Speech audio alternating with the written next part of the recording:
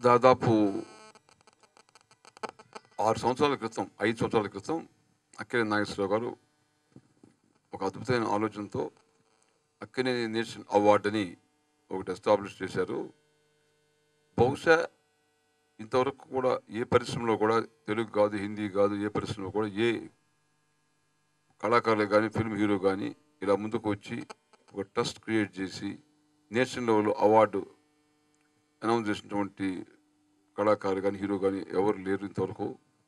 అఖిల నాగేశ్వర గారు first time it's kind వారికి ఆనాడు దాదాసాహెబ్ అవార్డు వచ్చినప్పుడు తను కూడా జాతీయ స్థాయిలో ఒక అవార్డు రావ ఇది స్థాపించాలని ఆయనకు చక్కని ఆలోచన రావడం. దానిగా ట్రస్ట్ క్రియేట్ చేసి దాంట్లో దాదాపు కోటి రూపాయల దాకా సమకూర్చడం.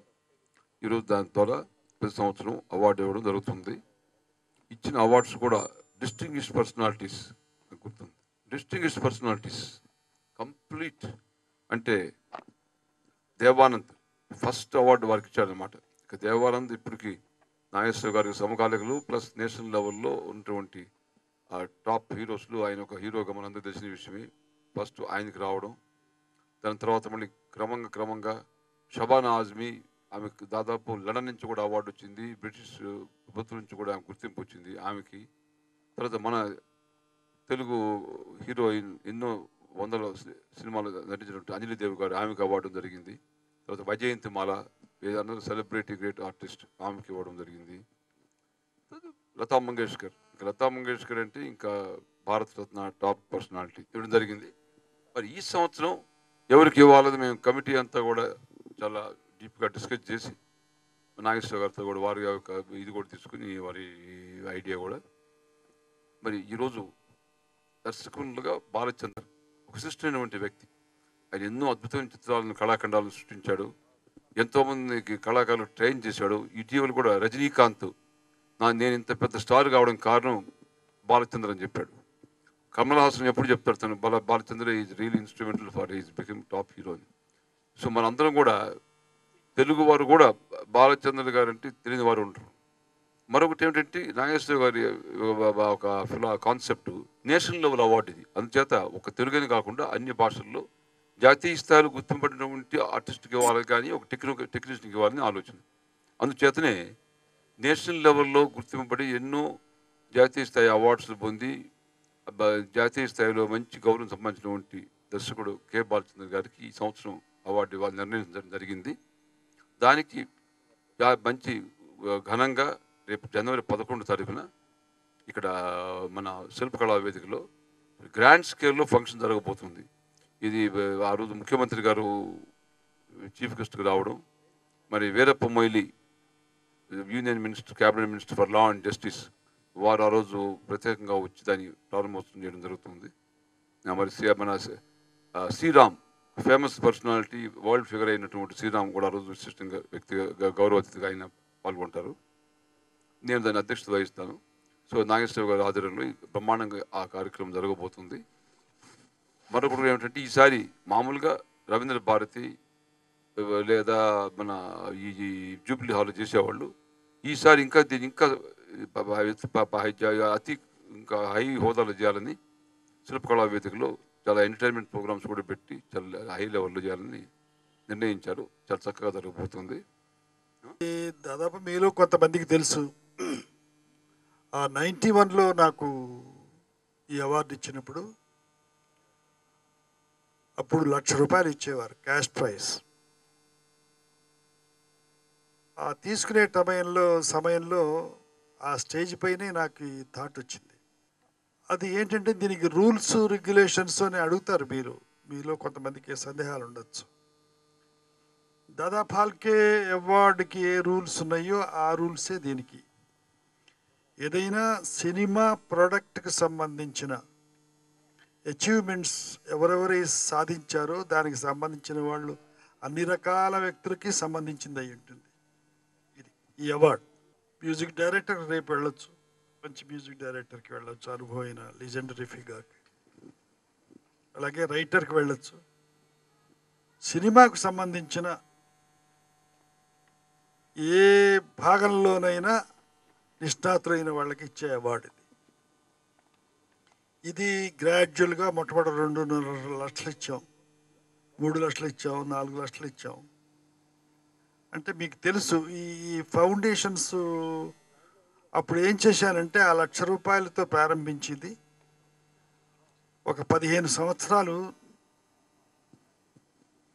అరవై పర్సెంట్ ఉండేది ట్యాక్స్ మాకు.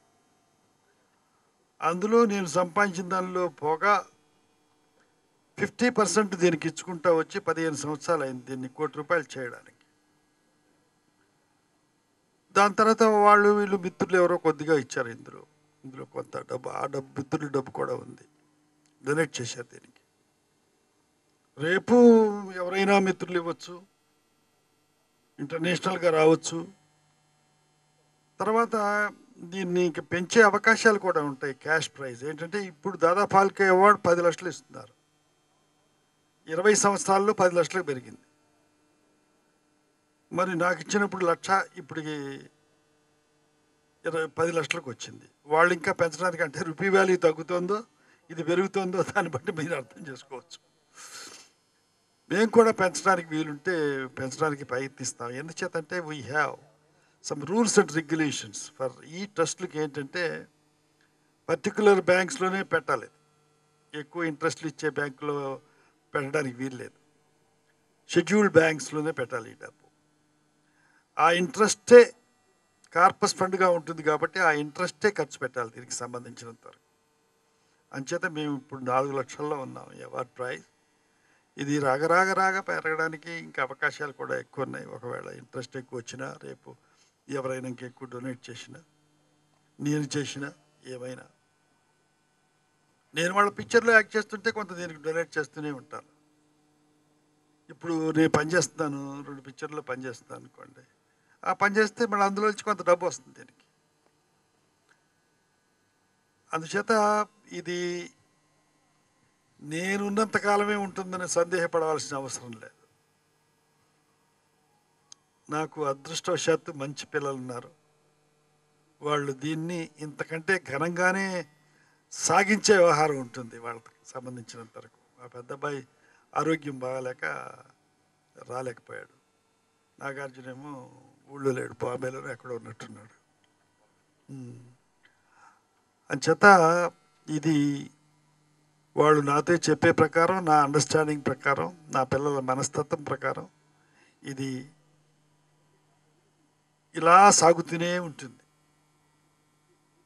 అంచేత ఇది ఇటువంటి అవార్డు క్రియేట్ చేయడంలో నాకు తృప్తి చాలా ఉంది. ఎందుచేతనంటే దీనికి కారణం స్టార్ట్ చేయడానికి కారణం ఏంటంటే నేను సినిమాల్లోకి వచ్చినప్పుడు అవార్డ్స్ అంటూ అసలు లేనే లేవు. గవర్నమెంట్ కూడా ప్రారంభించలేదు అప్పుడు. కొంతమంది అడుగుతారు మరి నువ్వు దేవదాస్ యాక్ట్ చేసావు కదా అప్పుడు నీకు అవార్డు రాలేదేంటయ్యా అంత బాగా యాక్ట్ చేసావు అని కొంతమంది అడుగుతారు నన్ను.